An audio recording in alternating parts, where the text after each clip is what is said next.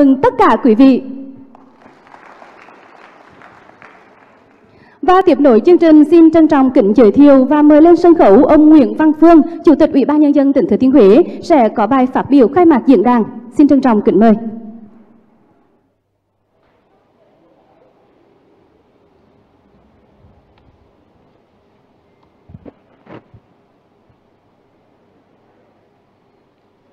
Kính thưa đồng chí Trần Văn Tùng, Thứ trưởng Thường trực Bộ Khoa học Công nghệ. Kính thưa đồng chí Phạm Văn Quốc, Cục trưởng Cục Phát triển Thị trường và Doanh nghiệp Khoa học Công nghệ, Bộ Khoa học Công nghệ. Kính thưa đồng chí Đàm Quang Thắng, Chủ tịch Hiệp hội Khởi nghiệp Đổi mới Sáng tạo Quốc gia.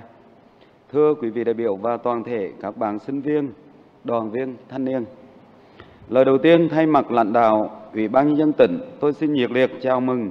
các cơ quan đơn vị tổ chức doanh nghiệp và quý vị đại biểu về dự diễn đàn khởi nghiệp mùa xuân 2022 hôm nay. Kính chúc quý vị mạnh khỏe và hạnh phúc. Chúc diễn đàn chúng ta thành công tốt đẹp. Kính thưa quý vị đại biểu, nghị quyết 54 của Bộ Chính trị về xây dựng và phát triển tỉnh Thừa Thiên Huế đến năm 2030, tầm nhìn đến 2045 đã chỉ rõ quan điểm. Đến năm 2025, xây dựng và phát triển Thừa Thiên Huế trở thành thành phố trực thuộc Trung ương trên nền tảng bảo tồn phát huy giá trị cố đô và bản sắc văn hóa Huế. Với đặc trưng văn hóa di sản, sinh thái, cảnh quan, thân thiện với môi trường và thông minh, du lịch là ngành kinh tế mũi nhọn, công nghệ thông tin và truyền thông là đột phá, công nghiệp và nông nghiệp công nghệ cao là nền tảng. Tập trung đẩy mạnh nghiên cứu, chuyển giao, ứng dụng và phát triển mạnh khoa học công nghệ đổi mới sáng tạo, nâng cao chất lượng nguồn nhân lực, thực hiện chuyển đổi số, phát triển kinh tế số, nâng cao năng suất, chất lượng, hiệu quả, sức cạnh tranh của nền kinh tế. Thực hiện chủ trương đó, tỉnh đã triển khai nhiều nhiệm vụ, những bước đi cụ thể, trong đó để thúc đẩy phát triển khoa học công nghệ và hỗ trợ hoạt động khởi nghiệp đổi mới sáng tạo. Tỉnh đã ban hành nhiều chính sách, chương trình như ban hành nghị quyết về xây dựng Thừa Thiên Huế trở thành trung tâm khoa học công nghệ lớn của miền Trung và của cả nước,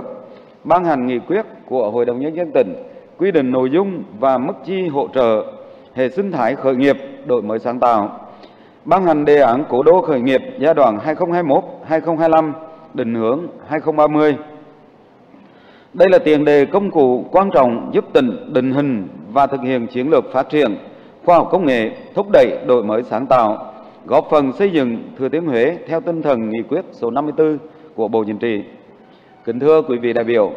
Thừa Thiên Huế là tỉnh tiếp cận và triển khai nhanh đề án hỗ trợ hệ sinh thái khởi nghiệp đổi mới sáng tạo quốc gia. Ngay sau khi Thủ tướng Chính phủ ban hành, qua 6 năm tích cực triển khai, tinh thần khởi nghiệp đã nhanh chóng lan tỏa khắp nơi trên địa bàn tỉnh từ các trường đại học, cao đẳng đến các sở ban ngành đoàn thể địa phương, các doanh nghiệp, các câu lạc bộ, vườn ươm khởi nghiệp. Nhiều mô hình sản xuất kinh doanh mới và nhiều mô hình kinh doanh doanh nghiệp được hình thành và thành công. Năm 2021 vừa qua, Thừa Thiên Huế vinh dự được chương trình khởi nghiệp quốc gia do Phòng Thương mại Công nghiệp Việt Nam tổ chức bình chọn là một trong ba địa phương tiêu biểu trong việc xây dựng hệ sinh thái khởi nghiệp. Thay mặt lãnh đạo tỉnh, tôi xin biểu dương những nỗ lực của ngành khoa học công nghệ, các sở ban ngành, các quỹ hỗ trợ khởi nghiệp, các tổ chức tư vấn, chuyên gia, các start-up trên địa bàn tỉnh đã góp phần xây dựng nên những thành công bước đầu của hệ sinh thái khởi nghiệp đổi mới sáng tạo tỉnh Thừa Thiên Huế. Tuy nhiên, bên cạnh những kết quả đạt được vẫn còn những tồn tại hạn chế nhất định ảnh hưởng đến hoạt động sáng tạo nói chung và khởi nghiệp đổi mới sáng tạo nói riêng. Đó là mặc dù tỉnh đã ban hành một số chính sách doanh nghiệp nhỏ và vừa như hỗ trợ mặt bằng kinh doanh, hỗ trợ thuê đất, hỗ trợ vay vốn, hỗ trợ vốn mồi. Tuy nhiên, mức độ hỗ trợ vẫn chưa thu hút được các đối tượng khởi nghiệp đổi mới sáng tạo. Sự quan tâm hưởng ứng tham gia hỗ trợ thúc đẩy phát triển khởi nghiệp đổi mới sáng tạo của các doanh nhân doanh nghiệp trên địa bàn tỉnh chưa nhiều. Số lượng doanh nghiệp còn ít so với tiềm năng của tỉnh và các doanh nghiệp chủ yếu là doanh nghiệp nhỏ, siêu nhỏ tinh thần hỗ trợ cho hoạt động khởi nghiệp đổi mới sáng tạo của các doanh nghiệp đi trước còn ít nên vẫn chưa hỗ trợ dẫn dắt các doanh nghiệp khởi nghiệp đi sau vượt qua các khó khăn gặp phải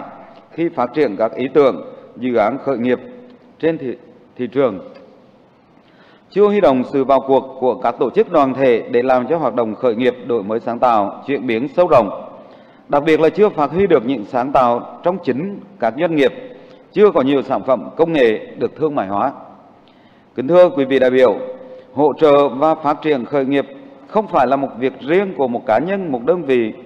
mà đòi hỏi sự vào cuộc của rất nhiều bên liên quan, đó là các cơ quan ban ngành, các doanh nghiệp khoa học công nghệ, các cơ sở nghiên cứu, các chuyên gia cố vấn, các đơn vị ươm tạo và các nhà đầu tư.